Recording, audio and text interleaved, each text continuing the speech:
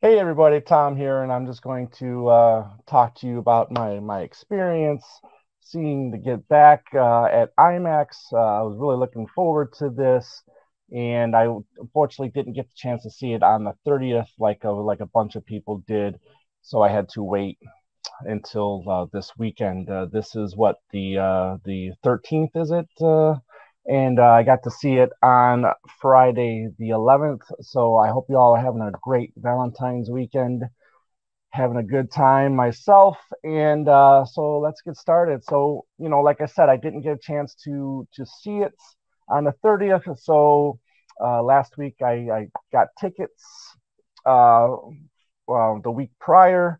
And uh, I went to uh, to the AMC at Desert Ridge here in North Phoenix been there a lot of times, had a good experience there. Um, I've been there a lot. Like I said, uh, it's close to close to home. Um, when I purchased the ticket, it said uh, six o'clock, and I was like, okay, I'm going to do that that time slot. So, uh, and it also had it also said a, a run time of 90 minutes. So I thought, well, maybe we'll also get the uh, the Peter Jackson interview afterwards, like they did for the 30th but more more about that later. So I get there, uh, get to the theater about 5:45. Um, unfortunately, there was no swag this time around either, like a bunch of people got, or like everybody got on the 30th. But that's fine. I I've got room. This room is filled with stuff, anyways. I don't know if I need any more stuff, but anyways. um, so like I said, the I got there 5:45. I got my popcorn. I got my soda really quick. I was putting a lid on the on the uh, on the soda, and I was getting ready to walk in. As I was getting ready to walk in, all of a sudden I heard "Get Back" starting to be played, and I was just like, "What the hell is going on?" So I hurried up to my seat, and it was already playing. So somehow, it started early. So I was pretty irritated during the rest of the of the showing, and um, you know, as as it was showing, more and more people came in because everybody thought um, it started at six o'clock. So um, the rest of the movie plays, and so we were, all of us were looking at each other, going, "Well, didn't everybody's ticket say six o'clock?" Yeah, everybody said six o'clock. So I said, okay, I'm going to go down to see the manager and I'm going to bitch and try to get my money back.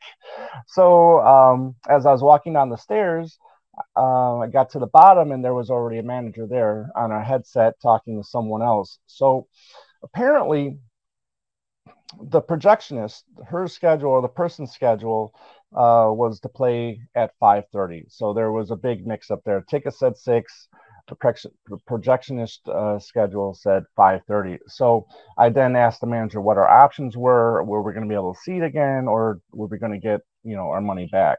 So they made it to where they played it again, and everybody was happy with that decision. So got back to my uh, seats, and um, ten minutes later, they they started to to play the um, the film again. Now I will say this was pretty much right around an hour. So after that first screening was done, there was no Peter Jackson interview. So not only was the time wrong on the ticket, but the runtime was wrong as well. So now getting back to now the review because now I was able to uh, start from the beginning and um, it started with the same history lesson that the Disney Plus uh, show started with, the little 10 minute um, history lesson, like I said. And I'm, I'm still a fan of this. I still think it's it's cool. It's it's um, it's good for for the casual fan and for the younger fans. And there was some younger fans there. Actually, in front, sitting in front of me were three generation of women um, there to watch this, and um, and that was pretty cool to to see. Um, I will. Let's. I'll talk about the audio. Or, I'm sorry. I'll talk about the visuals first. And and man, this was just an eye candy. I really enjoyed this IMAX experience the second time around, as I was really irritated the first time. And the colors really pop. I mean, it just looked 10 times better to me than on because I have a 50, 55 inch screen TV. Not a big deal, but seeing this now on the IMAX, I mean, those those shots just seem 10 times clearer. And there was some great uh, visual visual aspects. You know, of there's more. Um, how do you say when the, the split screens are up there it just looks the images on those split screens just look 10 times better there was a couple instances where i was just like really starting to tear up a little bit with the with the with the uh with the visuals. And i believe um uh, john singing don't let me down and he's getting to the part where he screws up the uh, the lyrics. So it's side by side two two screens. It's it's john and then you see george and then you you uh, you see John singing the messed up lyrics, and then you see George laughing about it, which was which was really cool. And then right as he's singing the chorus, you see a shot of of John still, and then now it's Paul, and then you see them, you know, looking eye to eye, and um, and then Paul comes in with his backing uh, vocals with that, and man, it's just really powerful. Just again to see that we've all heard these performances over and over again in the past, but to really see them was really moving and just just a delight. There was also a moment where where John is singing. And there's three there's three that's a three split screen. And you see three different images of John singing the same song but just from different angles. And and that was really cool too just to just you know to see that.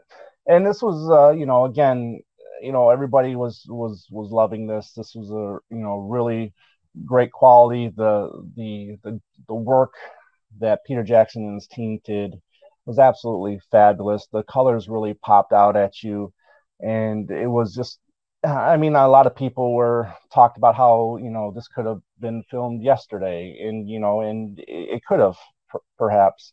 Um, the there was no blurs or anything like that. Everything, every image was was clear. Um, you know, you know, matter of fact, you could see, you know, the redness in the in the cheeks of how cold it was.